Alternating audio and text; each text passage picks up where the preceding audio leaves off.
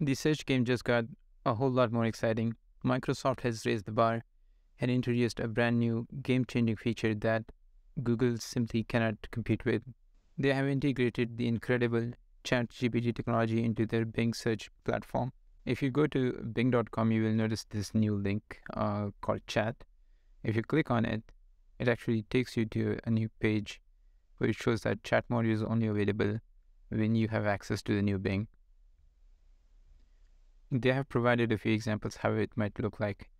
Um, I have already signed up for uh, the waitlist and I'll update you guys whenever um, I get access to the full functioning chat. You can try some of the examples. So for this new Bing search engine, whenever you write a search query, uh, apart from the old search results, it also shows this, which is basically the chat version.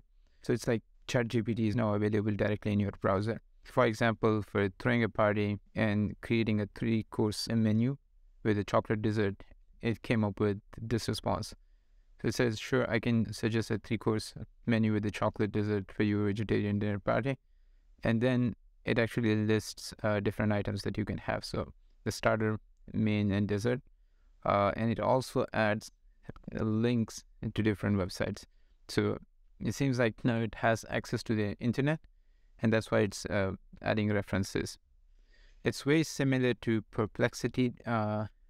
Uh, so if you're not aware, Perplexity.ai is an, a startup which is using AI for search. So let's say if I were to uh, copy the same uh, query, and let's try it here, you will notice uh, a lot of similarities between the responses generated by Bing and Perplexity.ai. Uh, it's uh, essentially using GPT-3 in the background.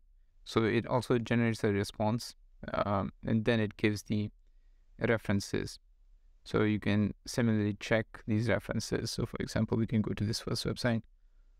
Um, it's India dinner party menu ideas. Right. So there are some similarities between the two. Let's look at some other examples. Click uh, on this learn more. Here they have introduced the code different features they have. So for example, let's say, uh, can you help me get fit, right? So uh, plan me a workout for my arms and abs with no uh, sit-ups and no gym equipment. It should only take 30 minutes. Okay, so let's try this. Apart from the regular search results, now it's uh, generating a response uh, from ChatGPT, and uh, it adds these references. So that's that's pretty neat. You can either read these or just directly go to the references. For example, the first one is this popsugar.com, and it's essentially another YouTube video but it's pretty nice. And let's see what else it can do. Uh, so upon, uh, okay, coding help. All right, so let's see. Okay, so I think you will have to write something like this, right? Code to find Fibonacci sequence in Python, right?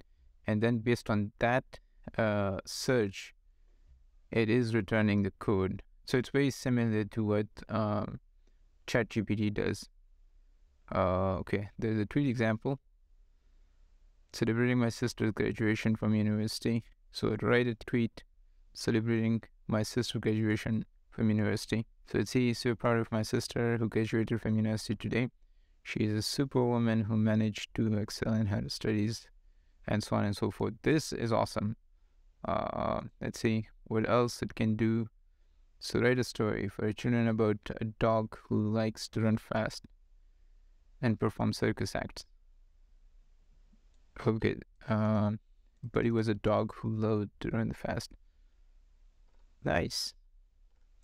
All right, so essentially everybody is going to have access to ChatGPT now. It can also help you write jokes. It seems like Microsoft also gave it a sense of humor. Now with the integration of ChatGPT, the Bing search engine will definitely become a lot more powerful, and it could be a worthy competitor for Google. Google also announced their conversational AI called Bard. Uh, I think it will be integrated into the Google search engine in a near future. Some of these new capabilities that um, Microsoft is showing off today are not available in Google. So uh, it seems like uh, the work has been cut out for Google to compete with Microsoft now. these are very exciting times to be alive, and it's really hard to predict what the future holds for us. I'd encourage everybody to uh, try these demos on Bing.com. The chat feature is not uh, yet publicly available, but you can join the waitlist. Hope you like the video. Uh, consider subscribing. Thanks for watching.